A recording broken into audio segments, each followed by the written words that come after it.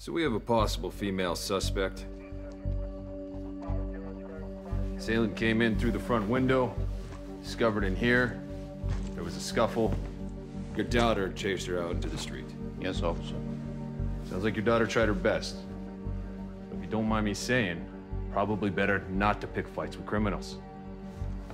But nothing was taken. No.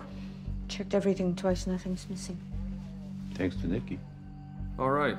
Well, we're almost done here. We're gonna wrap this up in a couple minutes and uh, be out of your hair. You okay? Yeah.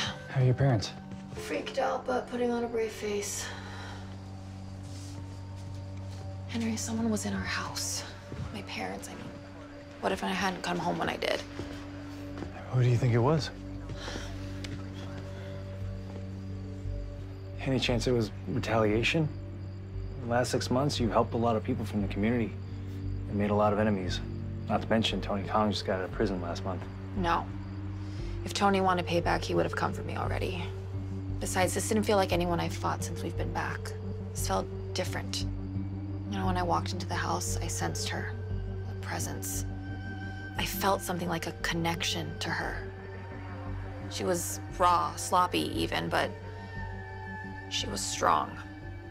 You know how we've been waiting for the other shoe to drop? For something big and bad to start up? I think it just did.